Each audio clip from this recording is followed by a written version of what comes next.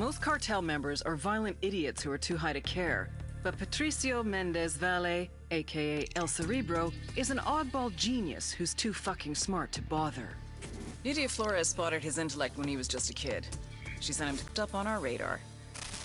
El Cerebro heads up the cartel's submersible program out of Jimenez. From Jimenez, his semi-submersibles, sometimes carrying as much as 10 tons of cocaine, head downriver to Brazil, then to the Atlantic. From there, floating just a few feet below the surface, they can go all the way to Mexico, even as far as Florida. But smuggling with these semi-submersibles will soon be a thing of the past. He and Nidia have ambitions to make reusable, fully submersible craft. Think what a multi-billion dollar criminal enterprise could do with a fleet of submarines. Smuggling would be just the start. If we're gonna take down these subs, we need El Cerebro and his jagged-ass brain intact and cooperative. Just remember, he's Nidia's pet project. She won't give him up easy.